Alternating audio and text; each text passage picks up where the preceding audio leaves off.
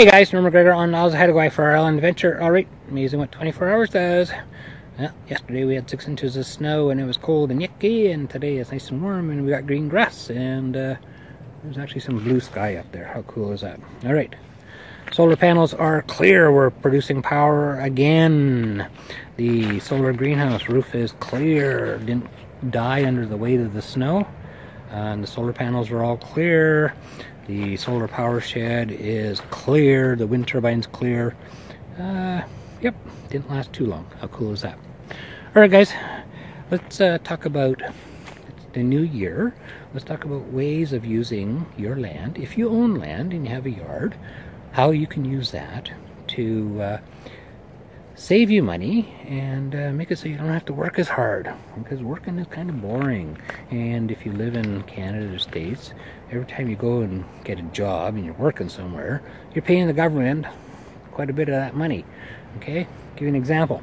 If you are in Canada and you earn $20 an hour five days a week 365 days a year or 52 weeks a year whatever okay you're going to pay the government 30% of what you earn how stupid is that? Like crazy, okay? Why? Because for me to go to the grocery store and buy a $100 worth of groceries, I have to get a job and go out and earn $130 so I can give the government $30 in the store 100 Okay? So what I've done, I put in a greenhouse and a garden. Okay? So if I want $100 worth of food, I go to my garden and pick it. And it tastes better, it's healthier for me, and uh, you know what? It's taken far less time to do that than go out and actually earn the money. I like to have lights on in my house. I like TV. I like to have power. Okay. Okay. So I put solar panels on the roof. I put a wind turbine up because what they do is they generate electricity. And if you take a look at what people spend, okay and here the average person spends two to three hundred dollars a month on electricity which means they have to go out and earn 260 to 200 or uh, 390 dollars to pay for that electricity. They give the government a 30 percent they give the utility company the rest of it and they you know, it was money in money out and they got nothing out of it okay they got the heat and light whatever okay heat. Uh, when Deb and I came here the first year, we didn't have our wood stove put in. $350 a month to heat the house in the winter time. Okay, gross. Okay, to earn that to $350, I had to give the government $125. So, how much did you have to earn? $475 to get $350 worth of heat. You gave the government 125, you gave the utility company 350, and you got heat. Okay, with a wood stove, I spent two and a half days cutting wood, piling it up, putting in the wood stove, and that uh, $475 stays in my jeans and I don't have to go out and kill myself to earn it. Okay? Um, we're doing things. Making our own beer. This is a store-bought beer because I did make a mistake. Yep, yep.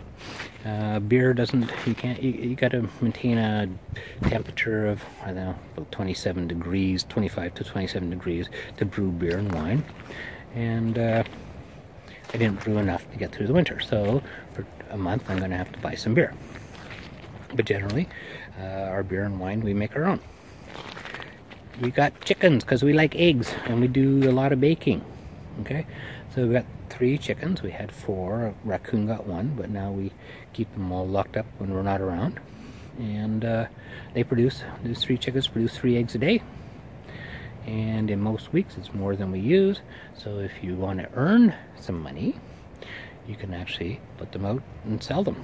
And people here pay six to seven dollars a dozen for farm-raised eggs. If you want to earn money here, okay, because you do need you do need to have some cash because you got property taxes and things that you just you got to pay for cash, right? Uh, so you got to earn some, but it, if you can reduce it uh, by doing a lot of this stuff, uh, you don't have to work as hard. But if you do need to make money, okay, chickens, one, sell your eggs. Number two, if you're healthy and strong, okay, uh, cut some wood.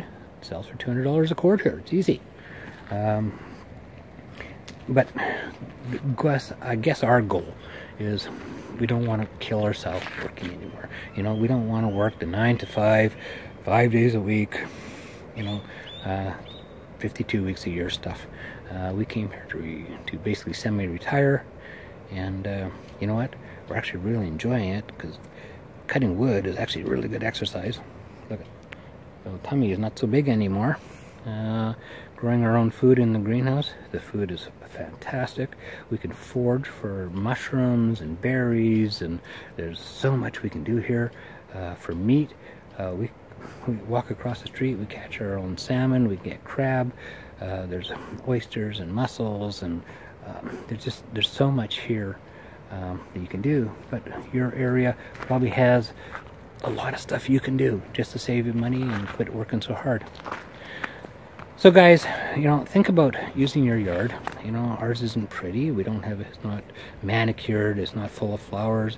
The only flowers I have are around the door of the greenhouse and they're there to attract bees into the greenhouse to pollinate the vegetables.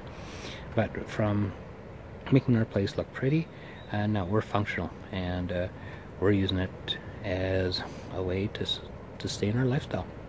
Alright guys, Norm McGregor on those Haida Gwaii for Island Adventure. Take care.